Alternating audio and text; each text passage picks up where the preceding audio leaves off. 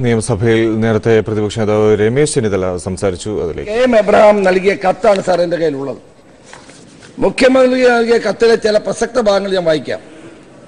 From the manner in which the search was authorised on orders from above even prior to taking preliminary statement from me I have genuine application that doctor Jacob Thomas director vigilance vigilance investigation was attempting to intimidate me sir ഗൗരവമുള്ള കാര്യമാണ്.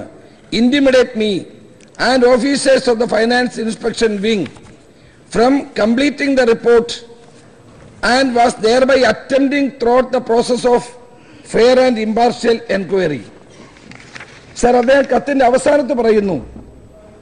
The action of ordering search even before the meeting meeting me and taking a preliminary statement from me and the unconventional manner in which the search was carried out also makes me believe that Dr. Jacob Thomas was acting vengefully against me in retaliation for having recommended disciplinary action against him in the finance inspection report of the uh, irregularities committed by him causing loss to the public exchequer.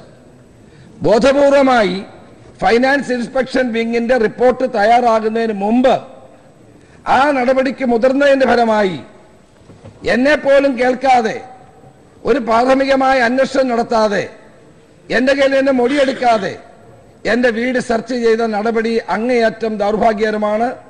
എന്നെ ഭയപ്പെടുത്താൻ വേണ്ടി ചെയ്തിട്ടുള്ളതാണ് എന്നാണ് sir കേരളത്തിലെ additional chief സെക്രട്ടറിയായ ഫൈനാൻസിന്റെ ചുമതല വഹിക്കുന്ന Shri K M Abraham.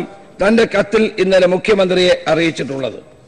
Sir ഈ സംസ്ഥാനത്ത് അഴിമതിക്കാരായ ആളുകളെ നിലയ്ക്ക് നിർത്തുന്നതിൽ ആർക്കും അവരുടെ പേരിൽ നടപടിയെടുക്കുന്നതിൽ ആർക്കും പരാതി ഉണ്ടാകില്ല. പക്ഷെ അതിന് നിയമപരമായ നടപടികൾ ഉണ്ടാകണം.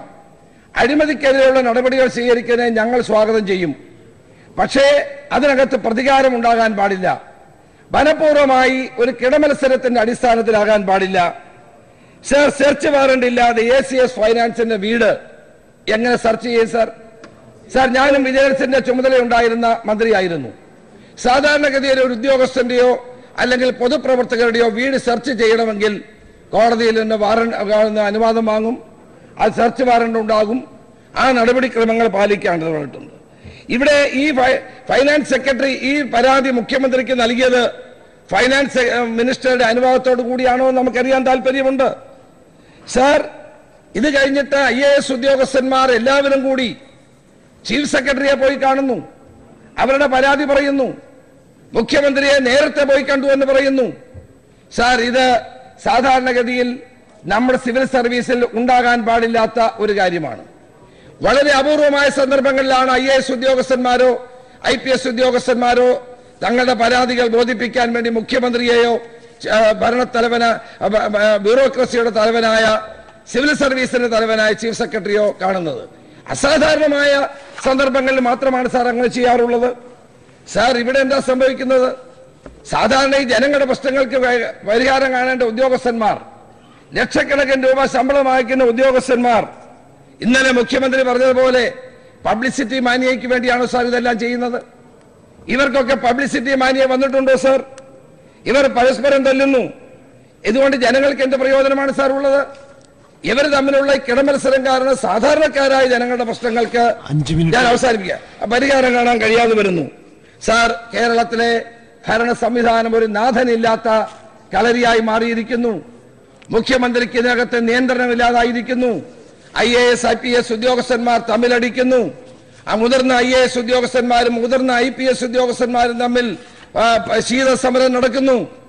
സാർ ഈ കാര്യത്തിൽ സർക്കാർ ഗൗരവമായി ഇതിനെ കാണണം. ഇത് ഗൗരവമായി എടുത്തില്ലെങ്കിൽ ഇത് ഇതിന്റെ ബുദ്ധിമുട്ട് അനുഭവിക്കുന്ന ജനങ്ങളാണ്. അതുകൊണ്ടാണ് സാർ ഞാൻ ഈ സബ്മിഷൻ അവതരിപ്പിച്ചത്. കേരളത്തിൽ ഒരു ഭരണസ്തംഭനം നിലനിൽക്കുന്നു. ബഹുമാനായ മുഖ്യമന്ത്രി ഈ കാര്യത്തിൽ അടിയന്തര നടപടികൾ സ്വീകരിക്കേണ്ടിയിരിക്കുന്നു എന്നാണ് എനിക്ക് പറയാനുള്ളത്.